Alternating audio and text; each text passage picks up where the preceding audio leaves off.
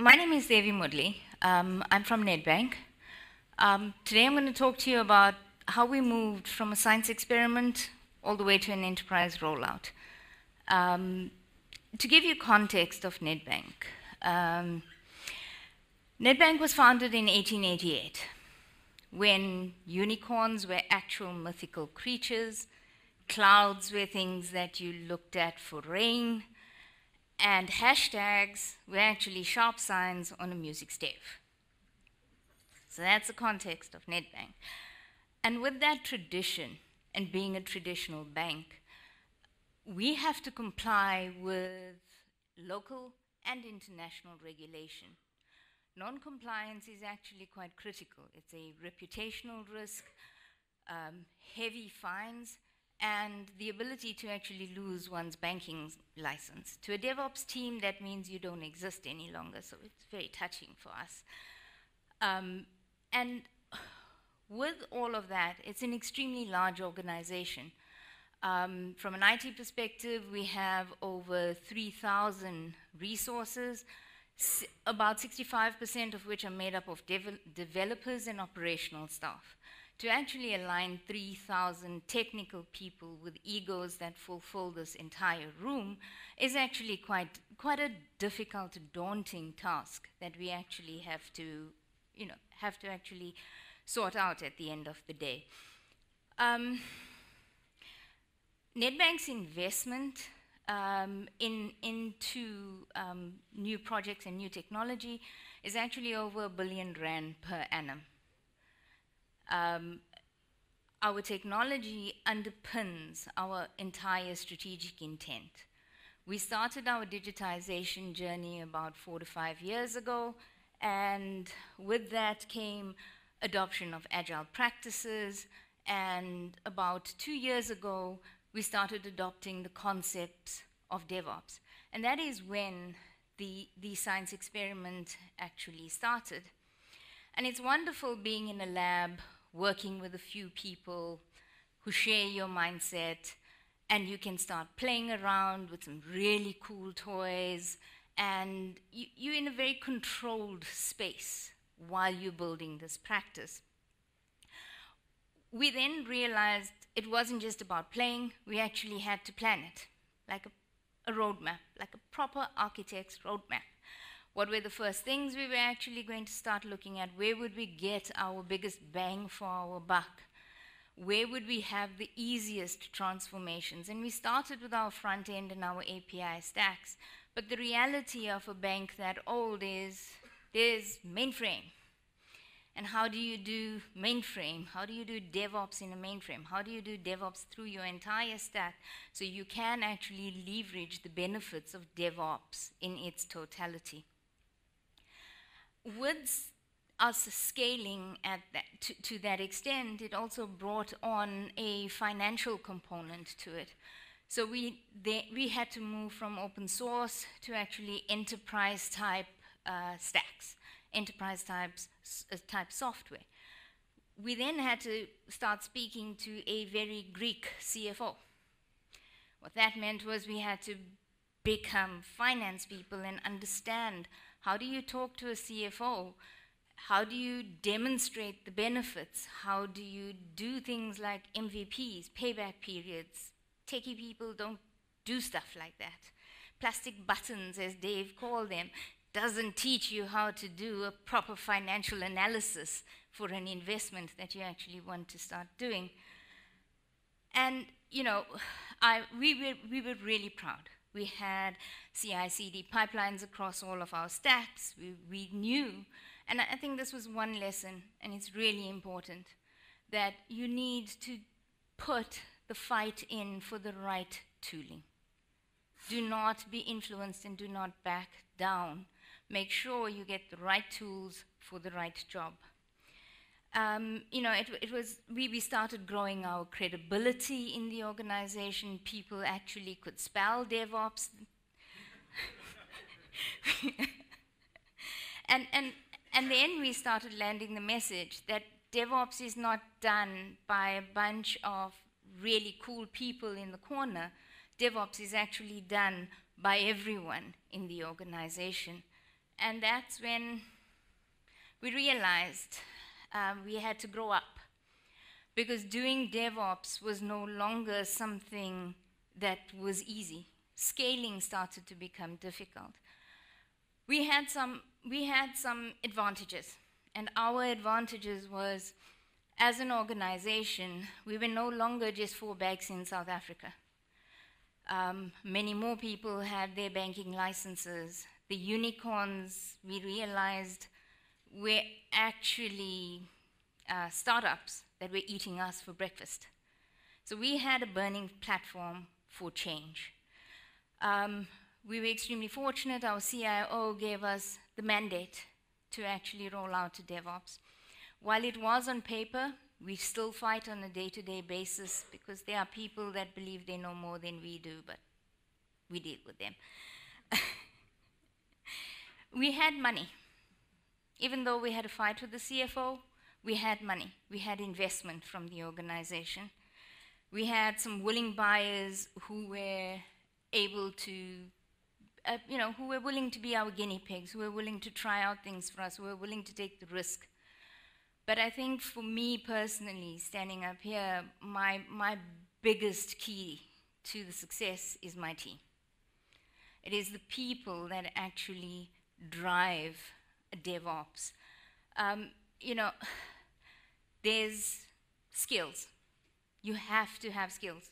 You have to know what you need to do. Your skills in your team have to be diverse.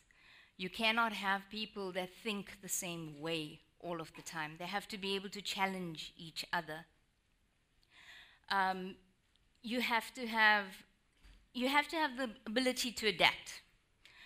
Um, you know, yes, we have roadmaps, and yes, we have goal commitments.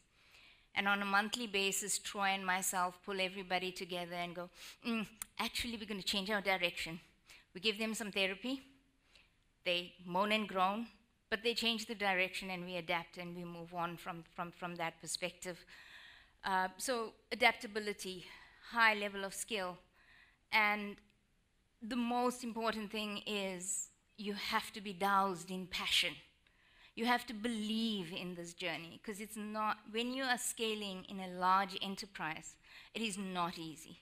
You have to truly believe in what you're doing. You have to be extremely passionate. You have to be able to take those knocks, roll with the punches, get up the next day, and actually continue from that perspective.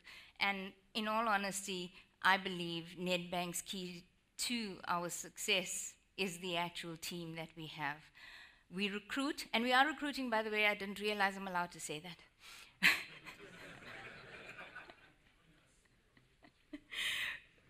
we, we, we recruit, we recruit, you, ha- you have to know your stuff. Um, unless you're a junior and straight out of university and we're grooming you.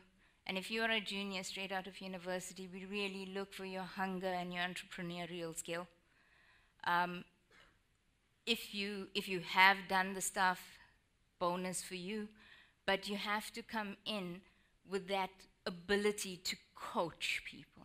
That is what DevOps at the heart of it is. It's about coaching people and take, taking people on that journey with you. So you actually spread the word through your organization.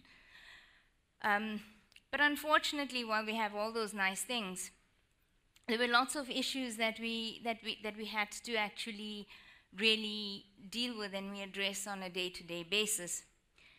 Um, for some reason, big enterprises believe when you start adopting Agile, you don't have to worry about discipline. You don't have to do things properly. You just have free reign to do whatever you want, however you want to do it. Um, and that ends up being, you know, resulting in a loss of good engineering discipline at the end of the day. Um, you're a large moving ship. There's a fear of change. There's an inherent people fear of change um, there's a fear of the impact of automation. And in the banking sector, it is something we're dealing with, combined with the economic environment that we're currently in, that sort of feeds that fear of what does this automation actually do to me and to my job. Um, there's a lack of trust in the automation. If I don't press the button, it's not going to happen. how can this machine actually start these things if I'm not there? And, and there's a lack of actual trust in this automation as well. Um, in, in an organization as, as hierarchical as we have, your message actually starts getting lost through your middle levels of management. Um, standardization of your tooling, you, you're then starting to deal with the dichotomy of DevOps, where you know you're actually empowering people, but then you've got to standardize stuff because you, every dog and his cat cannot have his own repository with his own code somewhere. It all has to be integrated together. So it's balancing that standardization and not being a dictator while giving your, your squads the freedom that they actually need to, to thrive from that perspective. Um, there's various elements of tradition. We started in 1888, as like I said, there's, there's, there's stuff there that are just, it's just old. And then our other problem is because I have such a highly skilled team, they kind of get poached and go to Europe and stuff like that that Dave steals them for. So, you know. and, and it is, you know, while you have a sense of pride that Goldman Sachs and DBS are taking your DevOps engineers, uh, you are actually losing your DevOps engineers as well. Um, and then, so, so now I'm going to start with, with what we actually started doing. I think for me, Elon Musk's quote really, really rings true for me is that every person in your company is a vector. Your progress is determined by the sum of all vectors. I'm positive every one of you did physics here. okay. People moving extremely fast in two opposite directions actually cancel each other out and you have no movement. And at the beginning of this year, as a team, we actually just got frustrated. We had done all this phenomenal work, but um, we were reaching almost a slowdown on our adoption. Um, we had to stop, we had to reevaluate our approach, and we had to accept the fact that our organization was not Spotify. Damn, we were working for a traditional bank. Um, and how do we work within those constraints of a traditional bank? And then we started identifying things in the traditional bank that would actually help us and actually start leveraging those things from a traditional perspective that would move us forward. Um, but we also had to ha- land some really hard messages in the organization. Um, and yeah, and, and one of those where Self managing teams does not absolve leadership of their responsibility to these people, to your people. You still have to support them, you have to guide them, and that is really, really critical. You don't set up a squad and run away and hope and pray and come back with swallow management. So, what a swallow does is flies down, craps on you, and flies back up. Okay? Agile is not swallow management doesn't give you permission to do that. okay? We then started taking ownership of that consistent message. We literally go into teams. Um, we, we, we really run like proper marketing campaigns. We have Rafia doing that for us, uh, where, we, where we pushing that consistent message through every level in that organize, in, in our organization. We started measuring adoption. So you can't have emotional arguments are pointless. So you go with stats, you go with evidence, and you have unemotional discussions with people.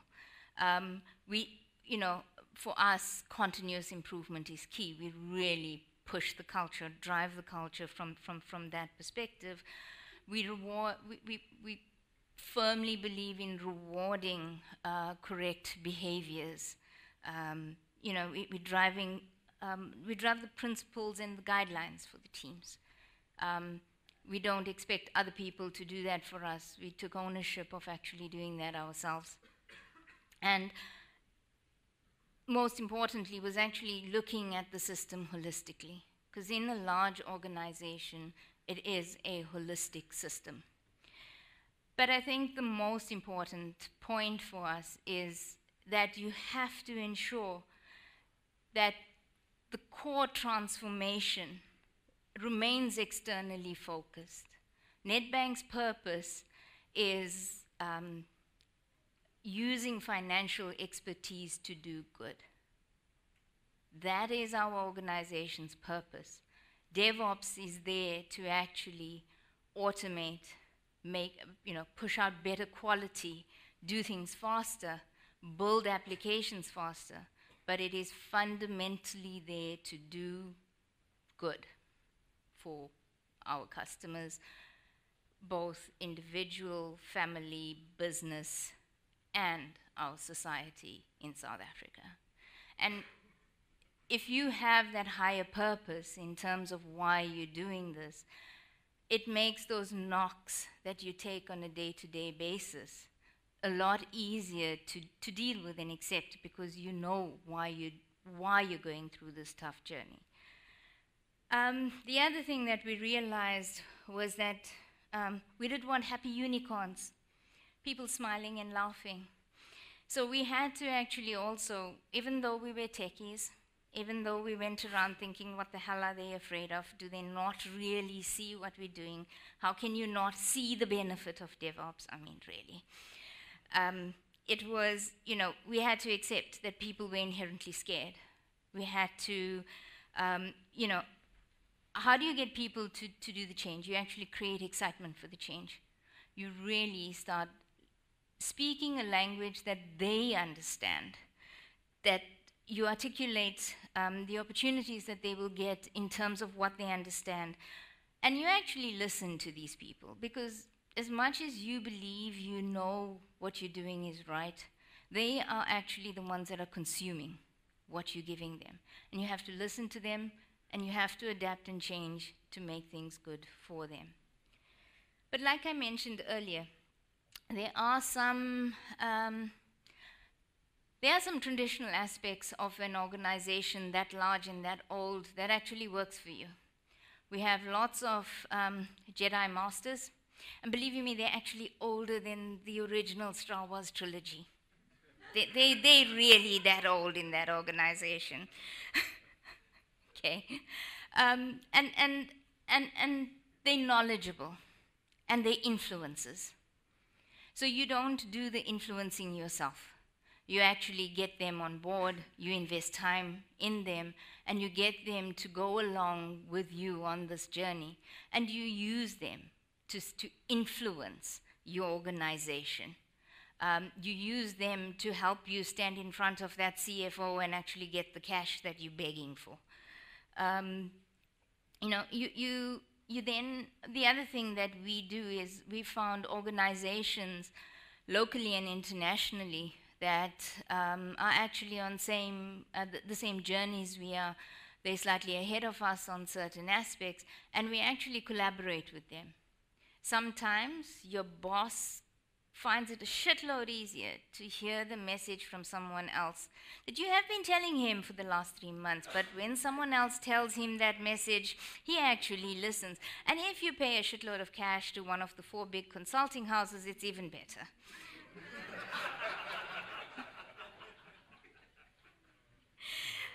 Okay.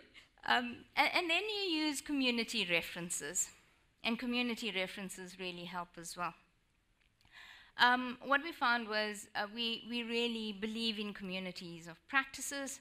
Um, we drive that quite hard. I've taken my management lunch budget and I've actually used it to, to, to buy stuff.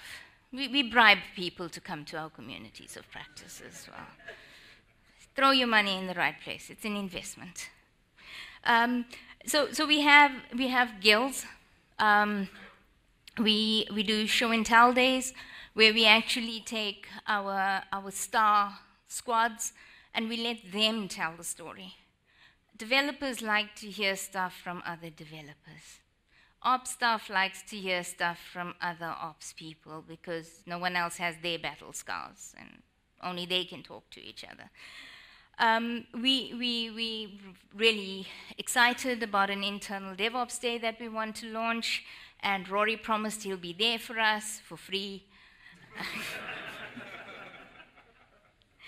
um, we, we, um, the other thing that we found was um, you can do master classes, but they, they tend to be generic, and different squads have different needs.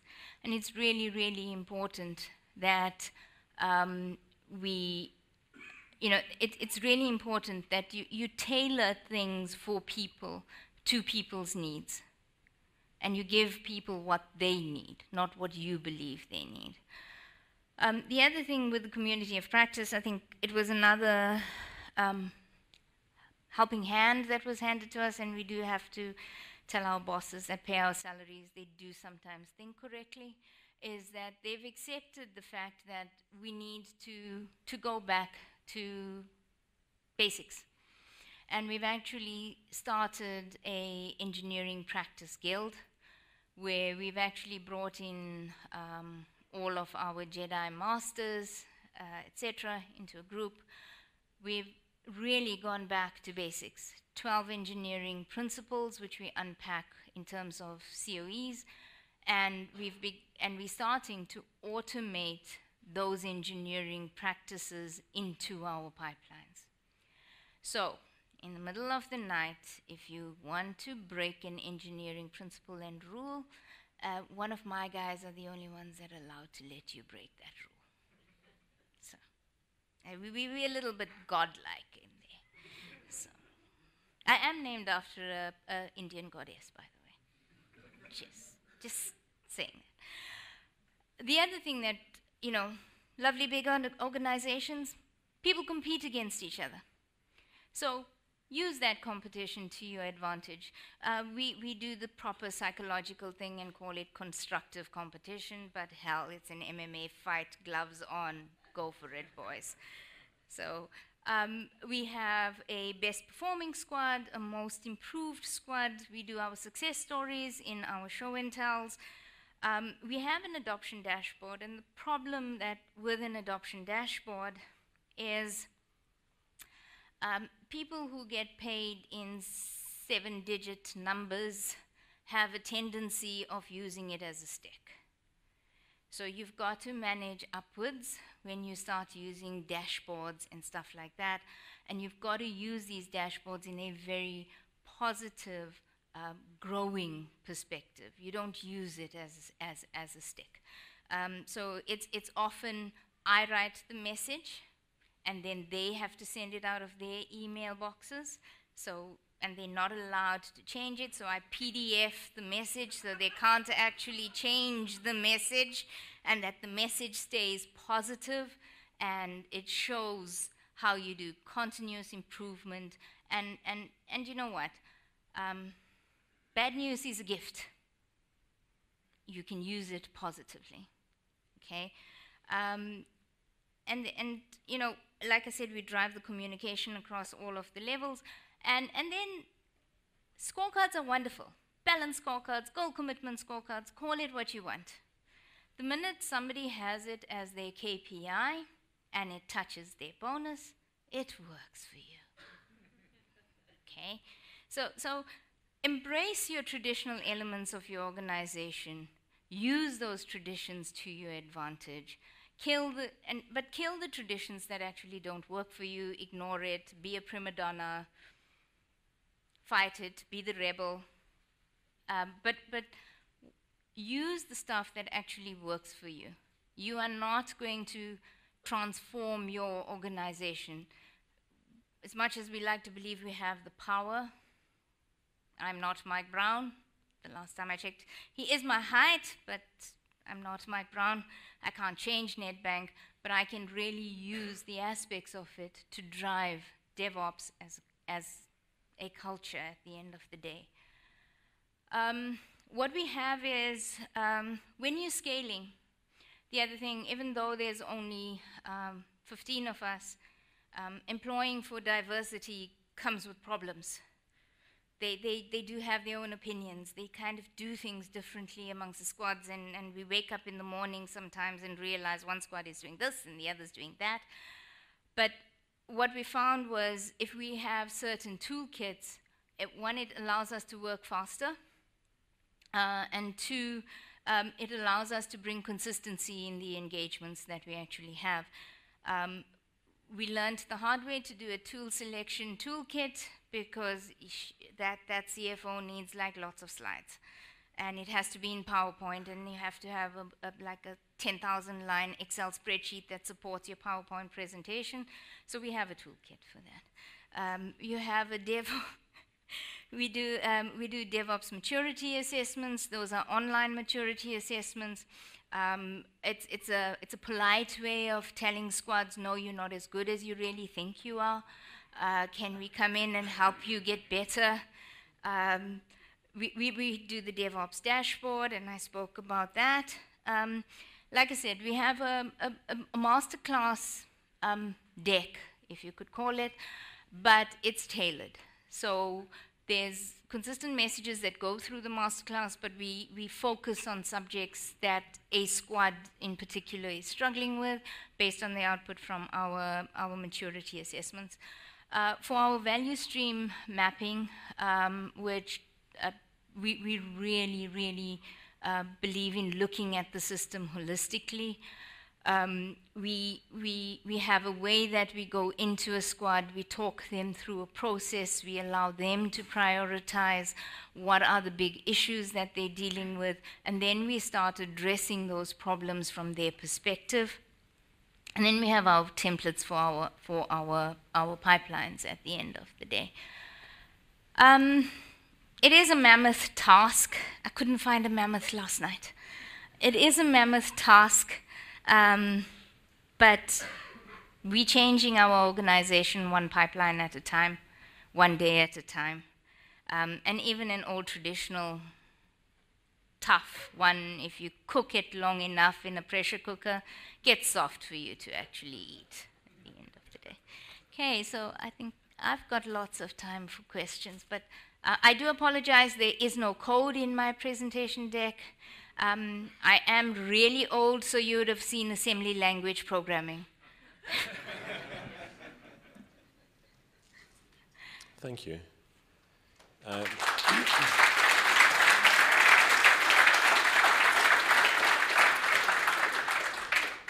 any questions? Two. Who was first?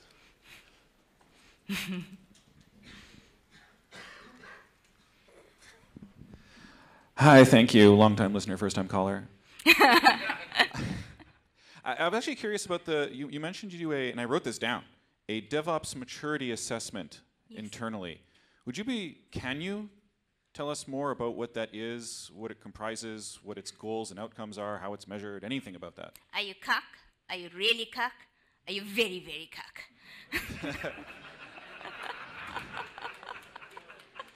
I assume, I assume that's a word that means something? Oh, yeah, shit. Sorry. sorry, sorry, I didn't realize you're not South African. uh, means shit, so it's, a, it's an African term. For a politically correct view, are you bad? Are you really bad? Are you really, really bad? Okay. No, so, so what, what we do is we, we look at your um, agile adoption, your engineering practices, how are you using your tooling? Are you using your um, the, um, the, the maturity of your tooling? Are you using the tooling correctly? Um, a lot of we, we folk. It's something that I realized I didn't really touch. Um, we drive culture a lot. Culture for us is really, really important. Uh, a tool with a, a fool with a tool is still a fool. So while we have lots of tools, if you're not using the tooling properly, you actually will not leverage the benefits. So we really do a culture assessment. Um, how are you using the tools? What tools are you actually using? And um, yeah, so we do uh, roughly five levels, eh? So we have five levels that that you can, can, can fit into. We do need to find a nice way of saying it. For now, it's one, two, three, four, five but we'll, we'll get there. yeah, but but we, we, we assess, like I said, just in summary, jokes aside, um, your agile your agile practices, your culture practices, how well you're doing using your tooling, and your ability for continuous improvement. All right, thank you. Um, this was very enlightening. It's always great to see how different enterprises are doing this. And I'm looking at this and thinking, okay, what if people in the audience who live locally or locally adjacent, um, Joburg or here, are thinking to themselves, Nedbank sounds awesome. I kind of want to work there. Can you talk a little bit about what kind of hiring that you folks are doing and where it is, and also possibly uh, what are the best ways that somebody can be the right candidate? Okay. I, I am not a plant. I was not paid to ask that question. I'm, I'm genuinely curious. Okay, so um, first thing, my base training is engineering, hardcore industry. I don't do, hello, how are you? Tell me about yourself. Doesn't work for me. I really blank out. I don't care. I need to know um, whether you can actually do the job. So um, we start off our recruitment process um, with a five minute introduction. Troy's the nice guy, I'm the bitch. okay?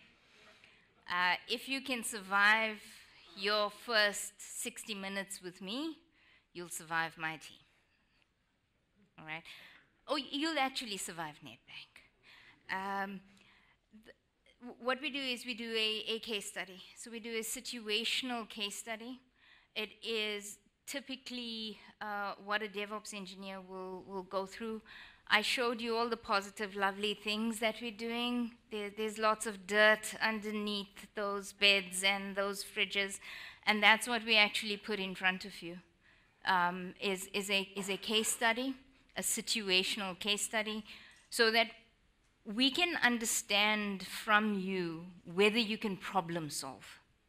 And that is really key critical. I can teach you how to use a tool. Um, you should be able to code by the time you come in for my interview. Even if you are straight out of university, you should be able to code. I don't need to test your coding skills in that first session that I'm meeting you. I need to know um, you can problem solve. I need to know you can actually coach. DevOps is not an ego driven position. Okay? You've got to be able to park your ego at home and be there to take a squad through a journey. Um, we do not uh, believe that we are the only people in the organization that does DevOps. We believe we are the evangelists and DevOps is done by Nedbank, not by the DevOps team. So you have to be able to coach, and we really, uh, the case study is really based on us unpacking your coaching uh, capability about how are you going to go into a squad as a DevOps engineer, more like a consultant, uh, not with PowerPoint decks, uh, more like a consultant that actually goes in and coaches the team through. So we test for your coaching, you we test for your uh, humility, we test for your um, ability to, to actually problem solve, because you, you need to be able to think on your feet. And the reason we come in for five minutes and do not explain the organization to you or anything like that is to actually see how you cope under stress. Okay? you only have 20 minutes, and you have a bunch of colored pens and an A3 sheet. Uh, thereafter, we come back after 20 minutes, and like I said, I'm the really difficult one, and he asks polite questions, and he's nice and helps you through this process, and I'm a little bit intolerant. Um, so, so and, and, and, and, and for me, it's extremely important because you have a squad that is under absolute immense pressure to deploy. Okay? If you cannot deal with people's just negatively towards you and, and trying to actually help them and, and know how to help them through the situation, you actually will not cope in our organization at the end of the day, and you will, you will not survive this. Uh, once you've gone through our one hour interview process with the polite HR person and polite Troy and me, um, you, you, you, you then have a proper technical assessment because, you know, as, as much as we talk culture and as much as we want nice people and as much as we, we really believe, um, you know, then of the four banks, for those of you who are not South African, of the four banks, Nedbank's the nice bank. We love our people, we hold our people, we care about our people, for God's sakes. Our, our purpose is about doing good, right? And about caring for people. And we really care for people at the end of the day. But the reality of the matter is, I need you technically competent. I'm not there to actually train you. You have to come in, you know, running. Unless you're a junior straight out of university or with one year of experience, you have to be technically competent for us. Um, and thereafter, we, we, also, on our more senior DevOps engineers, we assess um, EQ, we assess uh, adaptability, and we assess, um, on everyone, we assess your learning capability. Because the reality of the matter is DevOps is not going to exist in its form in about two to three years because everybody's going to be doing DevOps, right? That's our purpose. Everybody's doing DevOps. I need to employ people that will actually learn what's the next thing that's actually coming forward. So so be tough. But we do have spaces opened. um, if you've survived my talk, you'll survive me.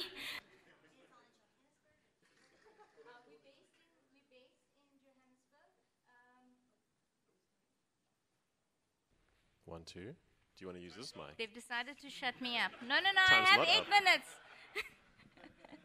We're based in Johannesburg. Um, we do have um, one or two of our DevOps engineers uh, in Paarl. Um, we actually find that at this phase that we are in as an organization, um, it is important to have face-to-face engagement. Um, if you are driving culture, you do need to be close to your squads. Um, we do have offshore teams that, that we do coach and guide and stuff like that.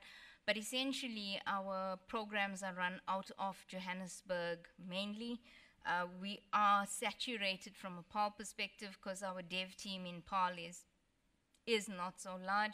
So unless you can get Darren to move, or oh, Darren's not here today, unless you can get um, Darren to move up to Johannesburg and you take his spot in Paarl, we, we, we're a little bit saturated. So we are based in, in Johannesburg. And, and it's not bad. Our weather is far better than Canada and Europe. It's sunny there.